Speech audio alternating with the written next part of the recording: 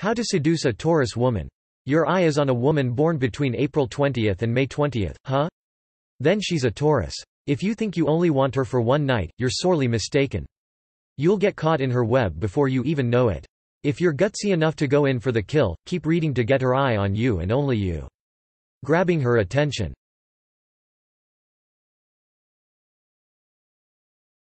Be patient. This Venusian goddess of love likes a sure thing. She won't let just anyone get near her. Because of this, you'll need to be patient. She can't be seduced with a meaningful glance and a particularly strong drink. To get this woman, you'll need to put in the time. She'll be worth it. Don't worry about getting too deep into the friend zone. This is a necessary part of seducing her. You'll need to build a foundation of trust before you get near her bed.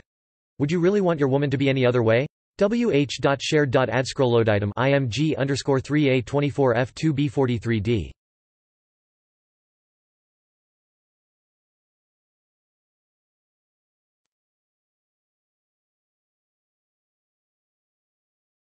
Court her. This is how you'll avoid the friend zone.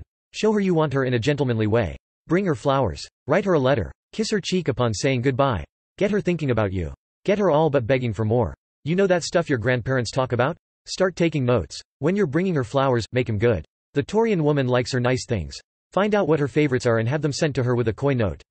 Spark her interest showing her your maturity, your pocketbook, and your intentions wh.shared.adscrollloaditem img underscore d13b1327b2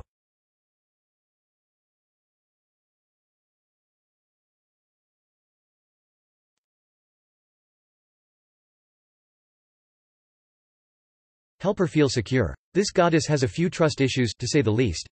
She wants a lover that she knows knows how amazing she is and is willing to tell her.